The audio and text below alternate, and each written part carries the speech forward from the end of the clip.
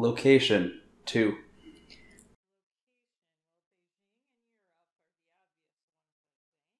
Location. Well, Beijing and Europe are the obvious ones, I think. Marble string. A field is a location as well, but not as specific as the other two. Police bomb, follow watch, snow, hood tag, Olivet, subcourt. Court is also a location, but I still think the two proper nouns are better. So I'm probably going to go with the proper nouns. Beijing. So we're out, are we blue this round? Yes. So I did good. Yes. um, and Europe. You said two, I right? said two. Okay. Then I will stop there, not take my technically feasible or my technically allowed third guess. So you covered up field, which is Trunk, two. trunk. T R U N K. Well, a mammoth obviously has a trunk. Um, so I think that's a pretty safe bet, but let me look through. I'm thinking the trunk of a car is almost opposite of the hood as an opposite, but there's got to be something better than that. Let's see. There's not no junk on the board. Otherwise, police car has a trunk, but that feels like a stretch. Well, I know mammoth. I'm really sure on that one. But I'm only kind of sure on the other one. And I almost feel like I should stop because I don't feel safe going with hood. My next, so for your information, my next guess on that would be hood is on the opposite end from the trunk. But I really don't even feel safe guessing that, so I'm going to pass.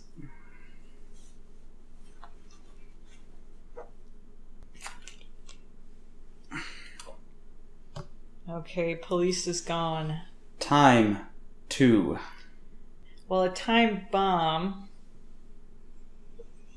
um, is a common spy thriller plot device. Well, a watch tells time, so that's pretty pretty obvious. Oh, time tag because you're a programmer. Well, I know I'm going to do watch because that one is just beyond obvious. But that second one, but I think I think time bomb is much more likely than time tag. So bomb. Was that stupid or was that at least a good way to go? That one was fine. The other thing you said was stupid because I have no idea what you're talking about. Okay. and then, um, okay. I think I'm thinking of stamp and not tag. You might be. I've I've looked dumber on the internet. Oh, fall is a time of the year. Maybe it was fall. Tube, two. Tube. Maybe I'm just a really bad guesser. A paper tube, like a toilet paper tube or a paper towel tube. A flute is kind of tube shaped. Spine is vaguely tube shaped, but I think flute is better. Well, paper? The thing is, a subway is sometimes called the tube. Or a flute is tube shaped. Oh, sub seems like it might fit better. Oh, you're killing me, Smalls. Sub. Oh my god. I'm sorry I'm a crappy guesser. I thought the London subway was called a tube. Maybe it was flute. I can't even guess my fall this time either, so.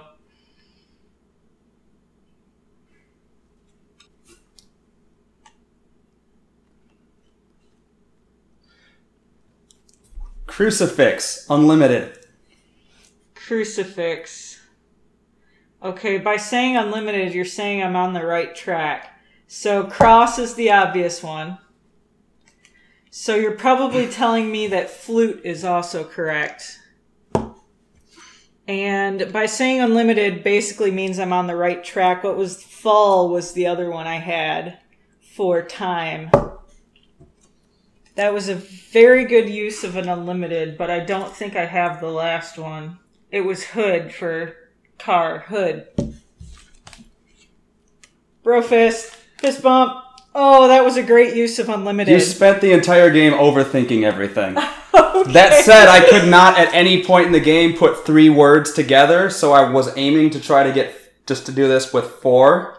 And you overthinking everything ended up talking us into three. So that is a great use of unlimited because basically by saying unlimited, you're saying everything that you were thinking about is on the right track.